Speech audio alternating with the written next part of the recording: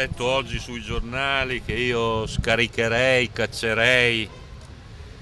Io ho detto una cosa chiara, che io i deputati non li nomino e per l'Italia che ho in testa io, i deputati non li deve nominare né Berlusconi, né Grillo, né Renzi, né Bersani.